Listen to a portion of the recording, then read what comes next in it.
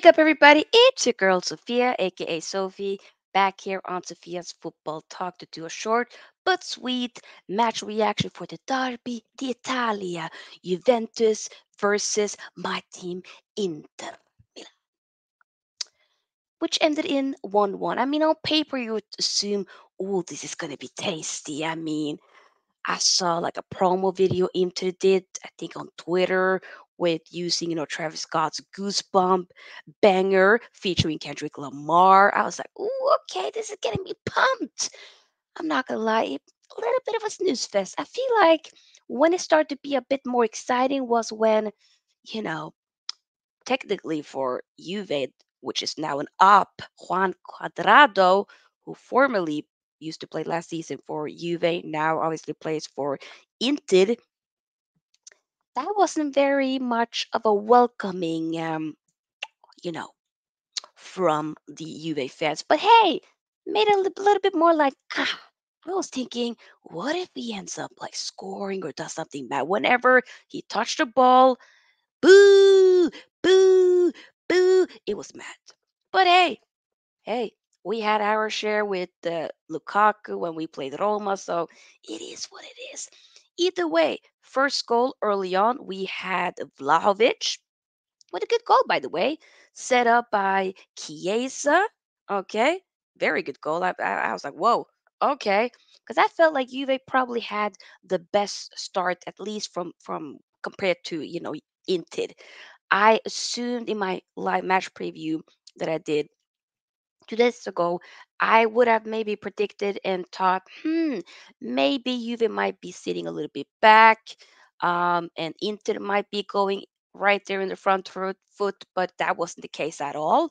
Um, I just felt like Inter didn't quite really get fully into the game, but either way, a draw is a good result. I was very happy with the goal by Lautaro Martinez, who keeps getting goals and goals and goals, assisted beautifully by Marcus Thuram. I mean, that partnership, wow. Marcus Thuram becoming like a, you know, free signing, a wonderful signing, 100%.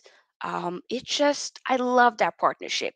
He also getting himself more and more you know, numbers up with the assists, goals here and there. So come on, we're not taking anything away from that. And I also really liked how it all was set up by the Swiss goalkeeper Yann Sommer.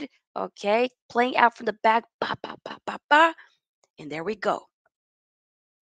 Come on. So I felt like that was kind of where the more exciting minutes came in the latter stages of first half because the equalizer came in the 32nd uh, minute. But I don't know, it still felt a little bit of a lethargic type of game, if we're going to be very honest. But we do need to remember both of these two teams have incredible defenses in terms of, okay, right now I believe it might be, wait. So prior to this game, it was 13 goals between us. Now ha- would have to be 15. Uh, we concede less goals out of everybody in the league, both of us. So I definitely didn't expect this to be a goal fest. Not at all. Not at all. I predicted 1 nil win to um, Inter, but we got a draw. And you know what? Maybe, but personally, probably a draw would suit us a lot more as we are the one in the front seat. We're still at the top of Serie A, trying to get that Scudetto. So, and Juve are the ones chasing us. I mean, the next game obviously is going to be against Napoli away. So that'll be an interesting game. I'll definitely will do a live match preview for you guys then, as well as a match reaction after the game next weekend.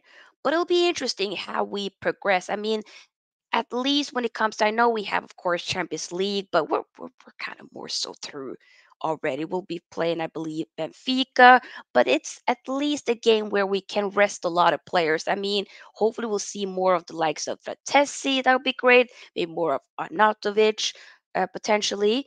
Um, because I do think there's certain players that that do need to rest because right now we know that Champions League once again it's it's under lock. Of course, you would want to win the group, but I do think that we have enough to be able to do that, in my opinion.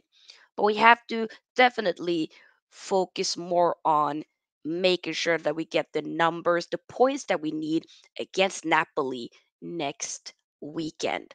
Um, but overall, I mean, like I said, didn't fully get into the game, but hey, you're taking the points.